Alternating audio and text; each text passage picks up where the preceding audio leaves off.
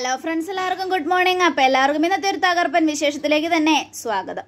അങ്ങനെ നയനയോടും ആദർശനോടും മാലകൾ പരസ്പരം കഴുത്തിൽ അണിയാനായിട്ട് പറയുകയാണ് അപ്പോൾ ദേവയാനി തന്നെ മാല എടുത്തു കൊടുക്കണമെന്നും പൂജാരി അത് കേട്ടതും ദേവയാനി മാല എടുത്ത് കൊടുക്കുക മാല എടുത്ത് അവരുടെ കയ്യിൽ കൊടുത്തതും നയനയോട് ആദ്യം ആദർശിന്റെ കഴുത്തിലിടാൻ പൂജാരി പറയുകയാണ് അത് കേട്ടതും നയന ആദർശിന്റെ കഴുത്തിൽ മാല ഇട്ടു.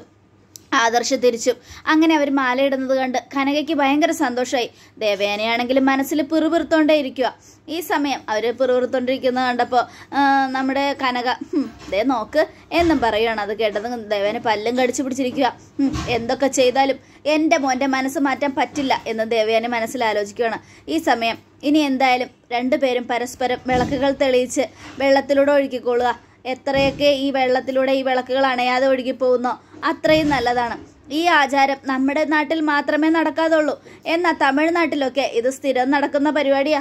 ഈ പൂജ ഭയങ്കര ഫലമേറിയതാണ്. അതുകൊണ്ട് ഇത് ചെയ്തു കഴിയുമ്പോൾ ഉറപ്പായിട്ടും ഇവർ തമ്മിലുള്ള പ്രശ്നങ്ങളെല്ലാം അവസാനിക്കുകയും ചെയ്യുമെന്ന് ചെയ്യുന്നുണ്ട്. അതുകൊണ്ട് എല്ലാ രണ്ടുപേരും ചെയ്യുക. പിന്നെ പോകുമ്പോൾ വിളക്കണയാതെ നോക്കണം. അത് കേട്ടതും ജലജ ഈശ്വര ഇക്കണക്കിന് പോയ അവളുടെ കയ്യിലിരിക്കുന്ന വിളക്ക് അണഞ്ഞു പോണം. എന്നിട്ട് ഇവൾ നമ്മുടെ അനന്തപുരി വിട്ടു പോണം എന്ന് മനസ്സിൽ വിചാരിക്കുക. അപ്പോഴേക്കും നയനയും ആദർശം കൂടെ ആ വിളക്ക് കത്തിച്ചു. അതിനുശേഷം പതുക്കെ പതുക്കെ നടന്നു പോവുക. അപ്പോൾ നയനയുടെ കാലൊന്ന് വഴുകി വഴുതി. കാൽ വഴുതി നയന വീഴാൻ പോയാലും വിളക്ക് മുറുക്കെ പിടിച്ചു. ഭാഗ്യം വിളക്ക് അണഞ്ഞില്ലല്ലോ. അത് തന്നെ മഹാഭാഗ്യം എന്നും പൂജാരി ഇത് കേട്ടത് ഈശ്വര ഇവളുടെ കൂടെയാണ് എല്ലാ ദൈവങ്ങളും തോന്നുന്നു. അതുകൊണ്ടാണ് അവൾ വീഴാൻ പോയിട്ടും ആ വിളക്ക് അണയാതെ നിൽക്കുന്നത്. എന്ത് ചെയ്യാനാ? ഒരു പിടിയും കിട്ടുന്നില്ലല്ലോ. എന്നും പറഞ്ഞ് ജലജ ഇങ്ങനെ നോക്കിക്കൊണ്ടിരിക്കുക. അപ്പോഴേക്കും രണ്ടുപേരും പതുക്കെ വിളക്ക് താഴെ വെള്ളത്തിലൂടെ ഒഴുക്കി വിടുകയാണ്. അവരുടെ പൂജ നല്ല സന്തോഷമായിട്ട് തന്നെ കഴിഞ്ഞു. ഈ സമയം പൂജാരി അനിയനോടും അനാമികയോടും പൂജ ചെയ്യാൻ പറയുകയാണ്. അപ്പോൾ അനിയുടെ മുഖത്തൊരു സന്തോഷമില്ല. ഇത് കണ്ടത് ദേവി നവ്യ ചോദിക്കുക ഇതെന്താ? അനാമികയുടെ മുഖത്ത് സന്തോഷമുണ്ട്. എന്നാൽ അനിയുടെ മുഖത്ത് ഒരു തുള്ളി സന്തോഷമില്ലല്ലോ? എന്നും. അത് പിന്നെ കുട്ടികൾ കല്യാണത്തിനെ കുറിച്ച് ആഗ്രഹിക്കുന്നതല്ലേ? അതെന്തായാലും എനിക്കിപ്പോൾ കല്യാണം വേണ്ടെന്നാണല്ലോ പറയുന്നത്. ആ തടസ്സങ്ങൾ മാറ്റാനാണല്ലോ പൂജ. എന്നൊക്കെ പറഞ്ഞുകൊണ്ട് അവർ പൂജ ചെയ്യാനായിട്ട് പറയുകയാണ് സമയം. കനക ആലോചിക്കുക ഈശ്വര അനിമോന്റെ മനസ്സിലെന്താണെന്ന് എനിക്ക് മാത്രമല്ലേ അറിയൂ. എന്റെ നയനമോളെ മനസ്സിലിട്ടുകൊണ്ട് നടക്കും അവൻ.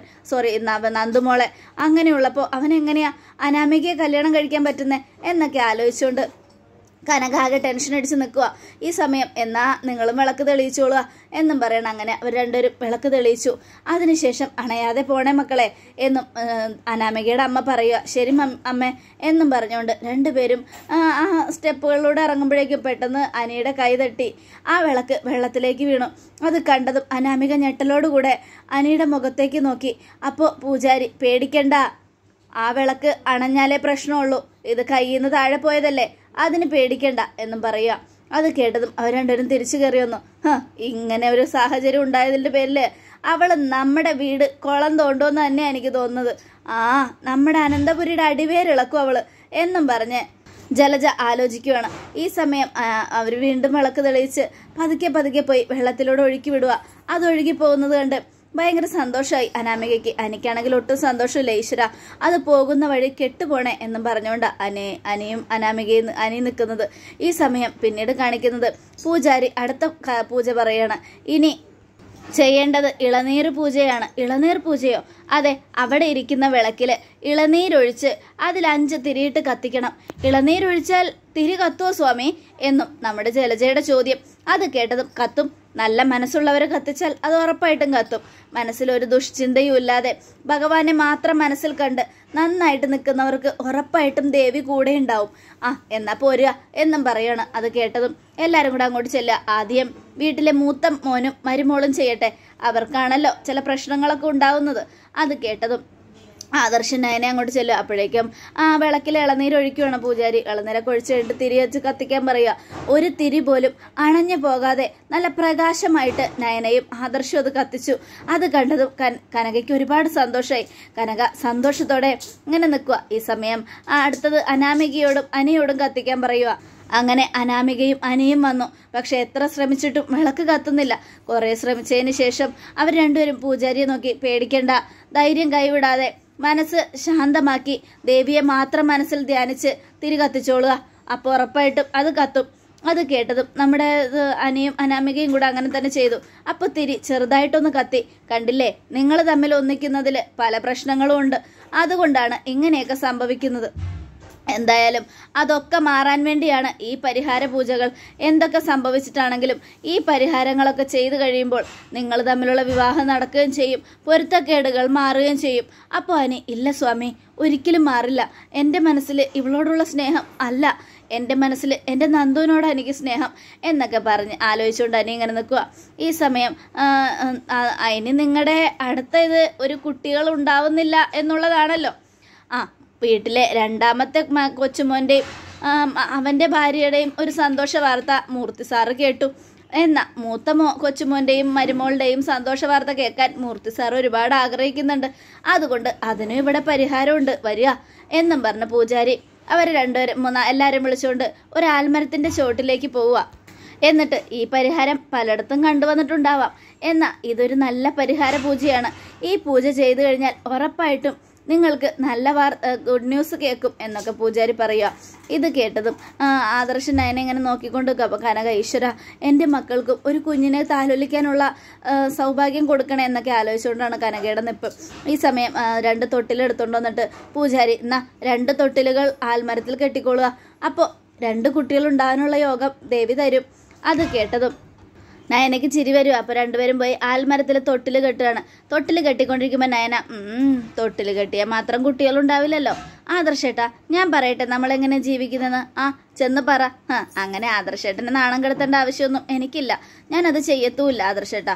എന്നൊക്കെ പറയണം ഇത് കേട്ടതും. ആദർശിന് ഭയങ്കര സന്തോഷമായി അപ്പോൾ അവർ രണ്ടുപേരും തൊട്ടിൽ വന്നതിന് രണ്ടുപേരും കൈ പിടിച്ച് ആലിനെ വലം വെച്ചോളുക അത് കണ്ടതും നയനയും ആദർശനോട് കൈ കോർത്ത് പിടിച്ച് ആലിനെ വലം വെക്കുക. അപ്പോൾ ജലജ എന്തായാലും ഇവളുടെ കൂടെ അടി കൂടെയാടാ ദൈവം.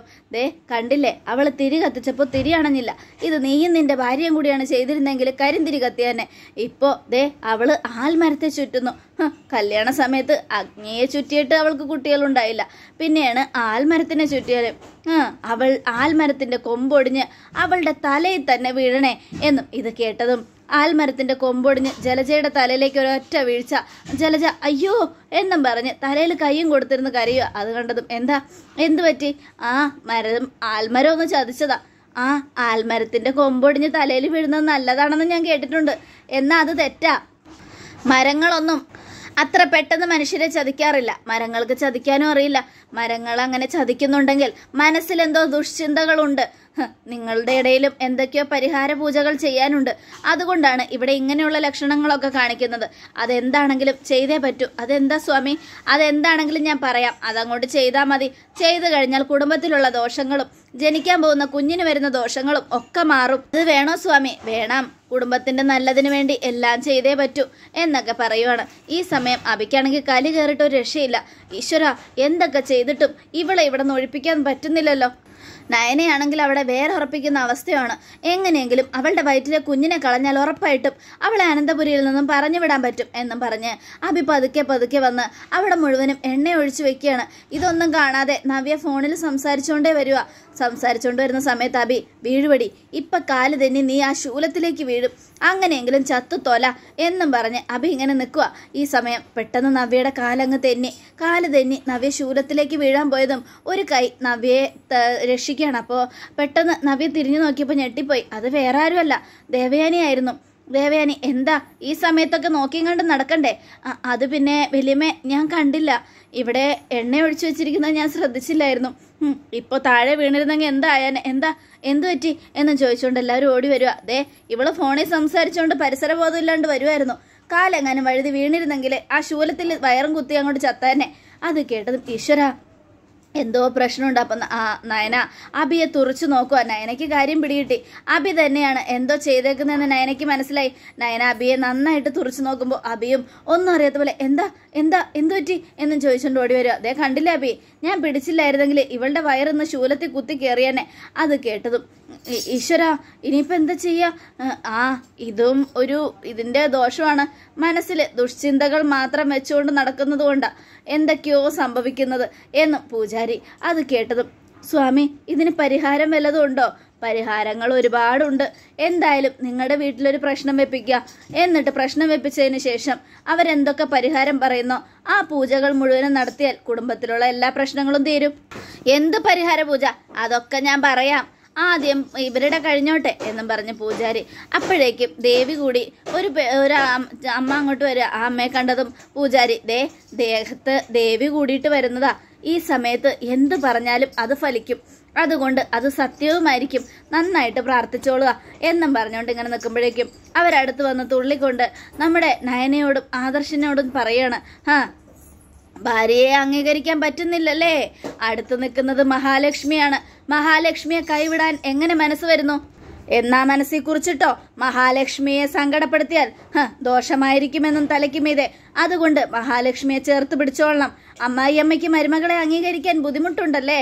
എന്നാ നോക്കിക്കോ. ആ മരുമകളെ അംഗീകരിച്ചില്ലെങ്കിൽ ഇനി വരുന്ന ഒരു മരുമക്കളെയും നിങ്ങൾക്ക് അംഗീകരിക്കാൻ കഴിയില്ല. ഈ മരുമകളെ പോലൊരു മരുമകളെ ഇനി നിങ്ങൾക്ക് ലോക ജന്മത്ത് കിട്ടില്ല എന്നും പറഞ്ഞ് നേരെ അനയുടെ നേരെ തരിക കല്യാണം കഴിഞ്ഞിട്ടില്ല അല്ലേ? എന്നാ കഴിക്കണ്ട.